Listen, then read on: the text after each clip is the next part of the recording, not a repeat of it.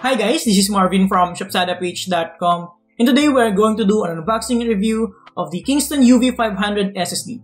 I'm going to benchmark this using my new system here and then afterwards I'm going to use the SSD upgrade kit and replace the old hard drive on the system so that we can have an idea on the performance of this SSD on both systems. So let's get into it.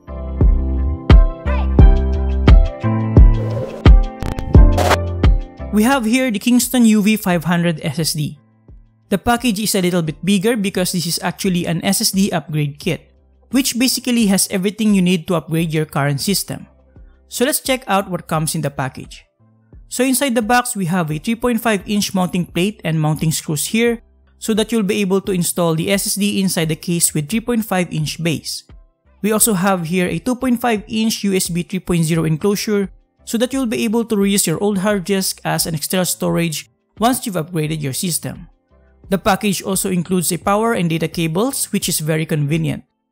And then we have here the Acronis True Image HD key so that you can easily clone your current system on the Kingston UV500.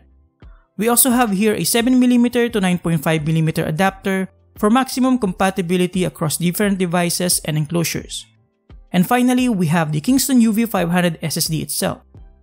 The construction is made of metal and super lightweight and a little bit darker compared to other models. At the back, we have some technical details about the product like the capacity and serial number.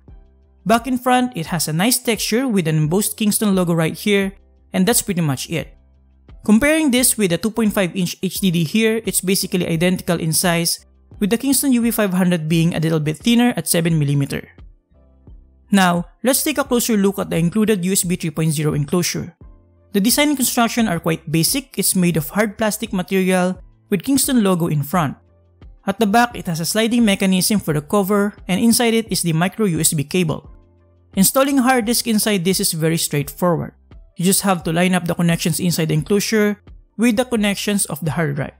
Slide the hard disk inside, make sure it's secure, and then pop the cover back. Lock it and you're all set.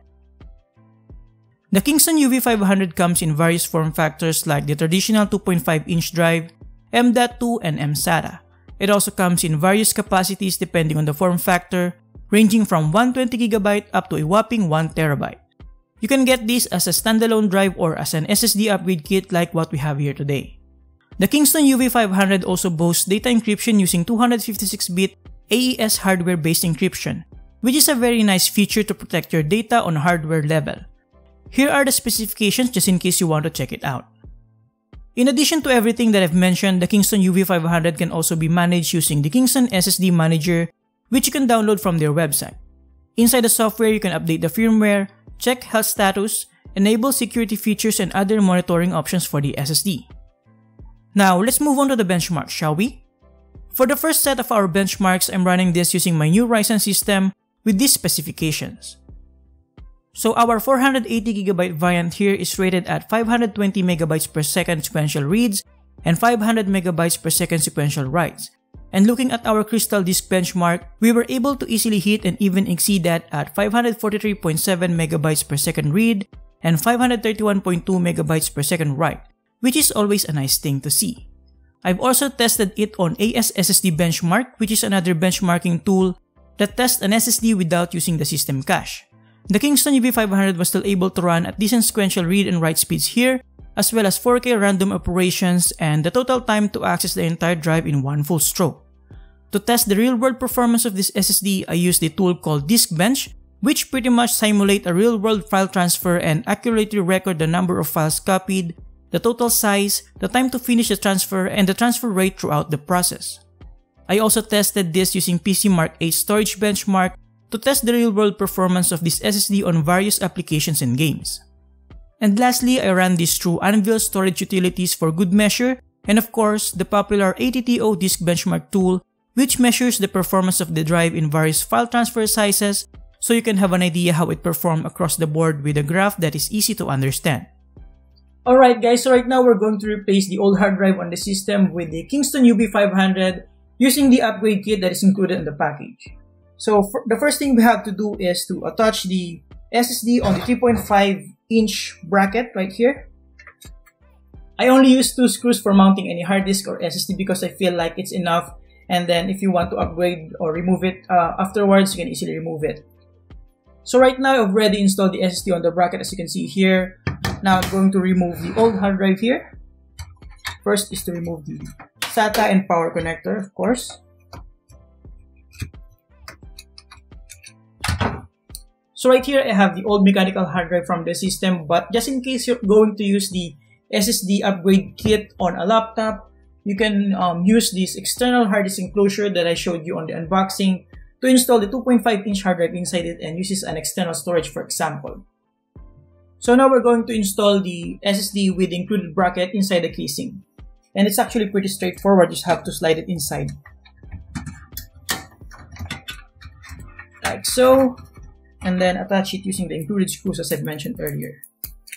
You can use two or one, it's fine. As long as it's fairly secured inside it. And lastly, of course, we just need to plug in the, the power and data cables. And we're all set. So now I'm going to power this up and install a fresh Windows 10 and then perform quick benchmark so that we can have an idea how the Kingston UV500 performs inside an old system like this. Alright guys, so before we proceed with the benchmarks on this old system, let's see the difference when it comes to boot times. So for the old mechanical hard drive, the boot time is around 1 minute and 43 seconds, which is painfully slow. This makes upgrading to an SSD like the Kingston UV500 really does make sense even on an old system like this. So with the Kingston UV500, the system was able to boot for only around 23 seconds, which is significantly faster. Now, these are the specifications of this old system and unfortunately, it's only capable of supporting SATA 2 speeds at 3GB per second as you can see here, so it will not be able to run the full capability of the Kingston UV500. But still, as we saw on the boot time and on these benchmarks, the difference in performance is night and day. Now to be fair, the old 80GB hard drive only supports SATA 1 speeds, hence the relatively slow speeds on the benchmarks. But even on a new hard drive like my WD My Passport Ultra as you can see the speeds here, is still far slower than the Kingston UV500 that runs at around 250MB per second on this old system. So to conclude, basing on our testing here, regardless of the platform, upgrading to an SSD like the Kingston UV500 is still super worth it, especially that the prices of consumer SSDs are starting to drop down recently.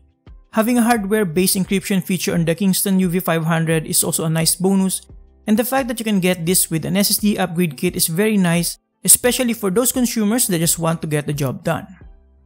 There you have it guys, thank you for watching. Make sure to check the full article link on the description below Thanks to Kingston for sending this in. You can get this from the links below as well. Subscribe if you like this, and see you next time. Thank you. Have a great day.